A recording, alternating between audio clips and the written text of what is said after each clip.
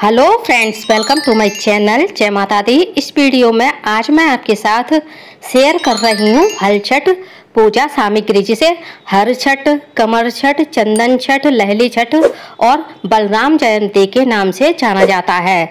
अलग अलग क्षेत्रों के हिसाब से इसके नाम भी अलग अलग हो सकते हैं। हल छठ का पर्व भादो माह के कृष्ण पक्ष की षष्ठी को मनाया जाता है।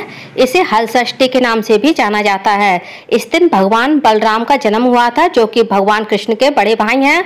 बलराम जी का प्रिय अस्त्र है हल और मूसल। इसलिए हल षष्ठी के व्रत में हल से जुती हुई किसी भी फल या अनाज का सेवन नहीं किया जाता है। तो चलिए आइए देख लेते हैं पूजा सामग्री। हल षष्ठी की पूजा में एक छे बनाई जाती है, जो कि ढाक के पत्तों से या फिर महुआ के पत्तों से या कांच से बनाई जाती है।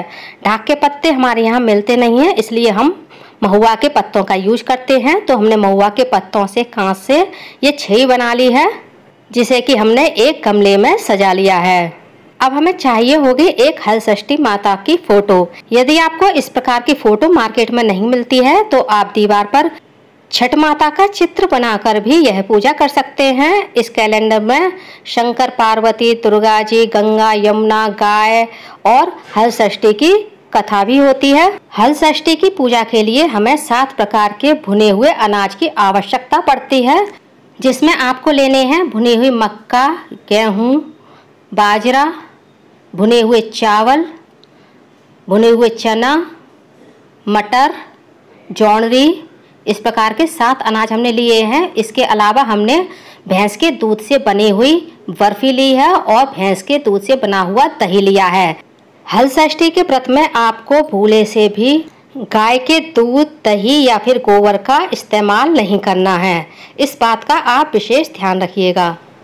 हल षष्ठी के व्रत में छठ माता को अर्पित करने के लिए हमें एक सुहाग पिटारी लेनी है, जिसमें एक हमने चुंदरी ली है, बिछिया लिए हैं, पाउडर, चूड़ी, नेल पेंट, सिंदूर, क्रीम और एक रुमाल लिया है। ये सुहाग पिटारी आप सोलह श्रृंगार की भी बना सकते हैं या फिर पाँच सात सुहाग की चीज़ों की भी बना सकते हैं।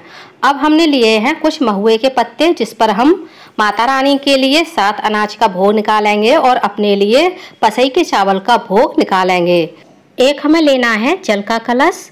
ये जल का कलश आप तांबे का या फिर पीतल का ले सकते हैं। उसके बाद हमें लेने हैं छः केले, आप सेब या फिर ककड़ी भी छः की संख्या में ले सकते हैं, या फिर आप छः अलग अलग प्रकार के फल भी ले सकते हैं। अब हमें लेना है एक घी का दीपक और थोड़ा सा घी, जो कि भैंस का होना चाहिए। गाय के घी का आपको यूज़ नहीं करना है। अब हमें लेनी है हवन के लिए इलायची और माता को पान में तांदुल के रूप में अर्पित करने के लिए भी इलायची लेनी है। उसके बाद हमें बनानी है गौर माता। ये गौर माता आप गमले की मिट्टी से या फिर किसी पवित्र जगह की मिट्टी से बना सकते हैं। उसके बाद हमें एक धूप पत्ती लेनी है। भगवान को वस्त्र रूप में अर्पित करने के लिए हमें चाहिए होगी मौली। इसके बाद हमें लेनी है माचिस दीपक चलाने के लिए। अब हमें लेने हैं पसई के चावल। हल षष्ठी की पूजा में इन्हीं चावल का यूज़ किया जाता है। जो लोग हल षष्ठी का व्रत रखते हैं, वो इन्हीं चावलों को खाते हैं और इन्हीं चावलों को छठ माता को चढ़ाया जाता है। और इन्हीं पसई के चावल को भिगा करके, पीस करके ऐपन बनाया जाता है, जिससे हम छठ माता का चौक और छठ माता का चित्र काटते हैं। उसके बाद हमें हवन के लिए कुछ लौंगे भी लेनी होंगी। अब हमें चाहिए होगा हवन के लिए थोड़ा सा कपूर। माता पार्वती को और छठ माता को लगाने के लिए हमें सिंदूर लेना है। साथ ही हमें लेना है आलता माता पार्वती को लगाने के लिए और छठ माता को लगाने के लिए। माता को चढ़ाने के लिए आप अपनी श्रद्धा अनुसार कुछ पैसे ले लीजिएगा, उसके बाद आप एक हवन कुंड ले लीजिए, जैसा भी आपके पास हो, मिट्टी का, तांबे का या फिर पीतल का। छठ माता की पूजा में हवन भी किया जाता है। साथ ही हमें धूप सामग्री भी चाहिए, जिससे हम माता रानी का हवन करेंगे। अब हमें लेने हैं कुछ पुष्प। छठ माता की पूजा में आप कोई भी पुष्प माता रानी को अर्पित कर सकते हैं। मैंने गेंदे के, गुलाब के और सफ़ेद पुष्प लिए हुए हैं। साथ ही आपको इस प्रकार की दो खाली कटोरी भी लेनी है, जिसमें आप माता रानी के लिए भोग तैयार करेंगे। एक कटोरी में आप पसई के चावल का भोग तैयार करेंगी और एक कटोरी में आप सात अनाजों का भोग तैयार करेंगे। फ्रेंड्स हल षष्ठी की पूजा में आपको किसी भी प्रकार से शक्कर का सेवन नहीं करना है। आप शक्कर से बनी हुई मिठाई का भोग माता रानी को, छठ माता को लगा सकती हैं, लेकिन आपको उस मिठाई का सेवन नहीं करना है। साथ ही आप जो पेड़ पर फल, सब्ज़ी आते हैं, उनका सेवन कर सकती हैं, लेकिन आप जो फल, सब्ज़ी ज़मीन में उगते हैं, उनका सेवन आपको हल षष्ठी की पूजा में भूल कर भी नहीं करना है। साथ ही जो लोग व्रत रखते हैं, वो इस व्रत में नाड़ी की भुजिया और ड्राई फ्रूट्स भी खा सकते हैं। तो फ्रेंड्स हर षष्ठी की जो भी पूजा सामग्री है, वह संपूर्ण पूजा सामग्री मैंने आप लोगों के साथ शेयर कर दी है।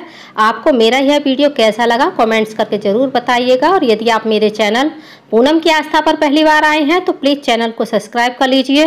वीडियो को ज़्यादा से ज़्यादा लाइक कीजिए, शेयर कीजिए, साथ ही बेल आइकन को प्रेस कर दीजिए, ताकि हमारे आने वाली सारी लेटेस्ट वीडियो की नोटिफिकेशन आप लोगों को टाइम से मिल सके। धन्यवाद फ्रेंड्स, बोलिए हल षष्ठी माता की जय। कमेंट्स में हल षष्ठी माता की जय अवश्य लिखिएगा।